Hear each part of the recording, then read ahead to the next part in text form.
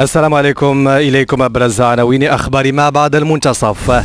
انفراج في مشاورات تشكيل الحكومة يمهد الطريق لتحالف حكومي جديد في ثوب الأغلبية السابقة.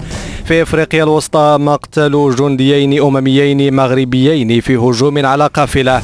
قبلة ساحل الناظور انتشال جثث ثلاثة مهاجرين سريين وإنقاذ 45 آخرين. في صخرات إطلاق برنامج الخادم الخاص بالحالة المدنية.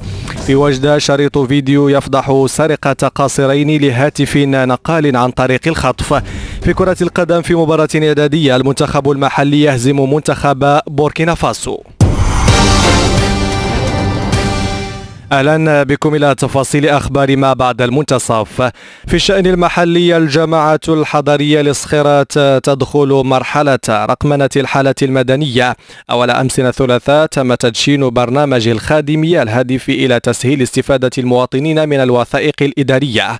أحمد فقيه رئيس جماعة صخيرات متحدثا في ميكروفون حسناء رشيحه هذا البرنامج اللي آه، من الإيجابيات ديالو هو تيسير آه، العمل بمصالح الحالة المدنية. السرعة في الخدمة ديال المواطن تيسير الولوج للمعلومة آه، ضبط العمل ديال المصالح الجماعية آه، في إطار يعني الرؤية السامية ديال صاحب الجلالة الملك محمد السادس نصره الله.